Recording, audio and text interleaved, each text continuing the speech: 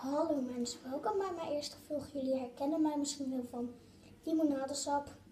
Heb ik zelf verwijderd. En een mijn broer Dano, die is verwijderd door een update. Nou, daarom ben ik weer dit YouTube nou, daarom ben ik weer gewoon een YouTube kanaal begonnen. Ik vond het gewoon leuk. Ja, om weer video's voor jullie op te nemen. Dus um, abonneer.